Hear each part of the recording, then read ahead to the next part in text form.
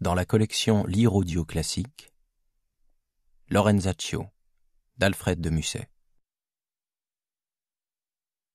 Personnages Alexandre de Médicis, duc de Florence, et ses cousins Lorenzo de Médicis, Lorenzaccio, Côme de Médicis, le cardinal Chibo, le marquis Chibo, son frère, Sire Maurice, chancelier des Huit, le cardinal Baccio Valori, commissaire apostolique, Julien Salviati, Philippe Strozzi et ses fils, Pierre Strozzi, Thomas Strozzi, Léon Strozzi, prieur de Capoue, Roberto Corsini, provéditeur de la forteresse, Seigneur républicain, Pala Rucellai, Alamano Salviati, François Pazzi, Bindo Altoviti, oncle de Lorenzo, Venturi, bourgeois, Tebaldeo, peintre, Scoronconcolo, spadassin, les huit, Giomo le Hongrois,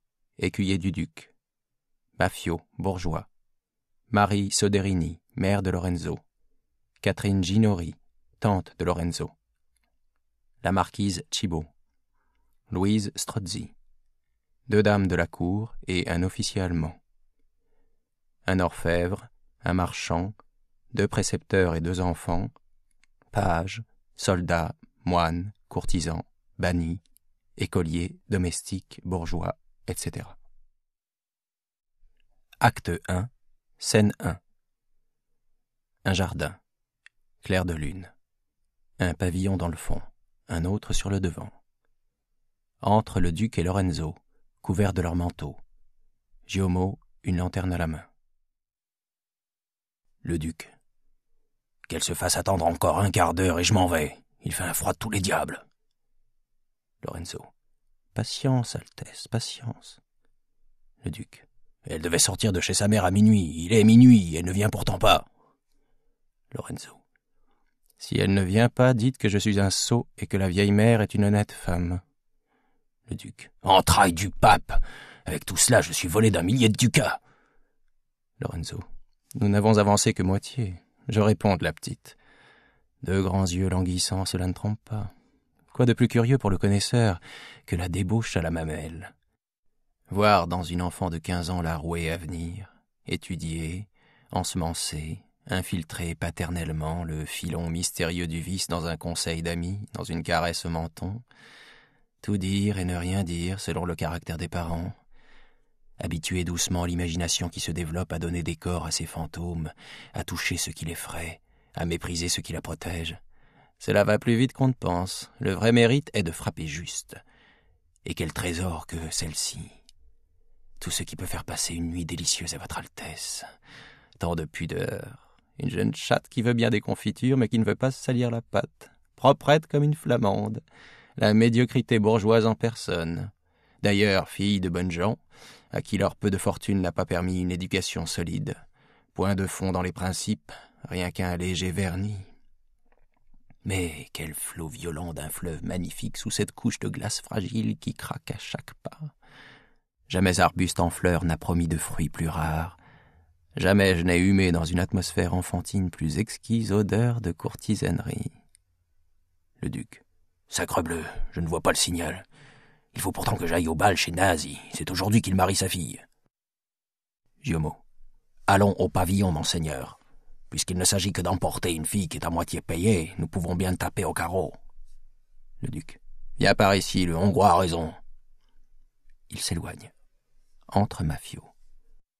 Mafio. Il me semblait dans mon rêve voir ma sœur traverser notre jardin, tenant une lanterne sourde et couverte de pierreries je me suis éveillé en sursaut.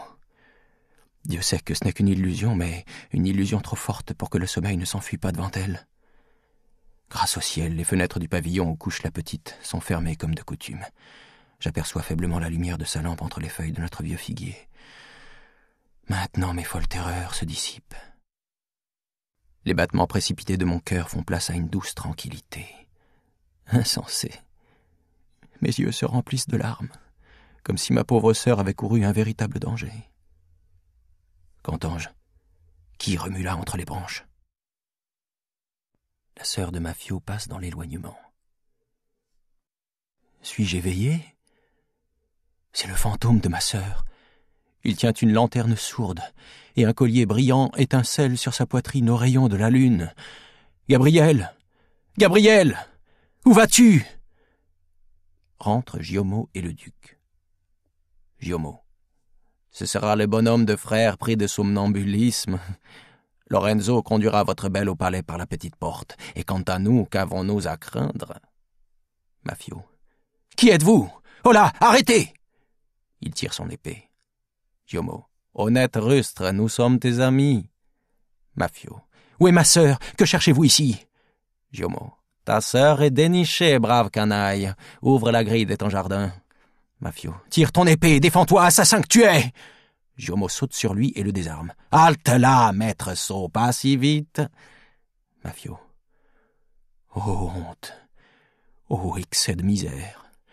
S'il y a des lois à Florence, si quelque justice vit encore sur la terre, parce qu'il y a de plus vrai et de sacré au monde, je me jetterai aux pieds du duc, et il vous fera pendre tous les deux.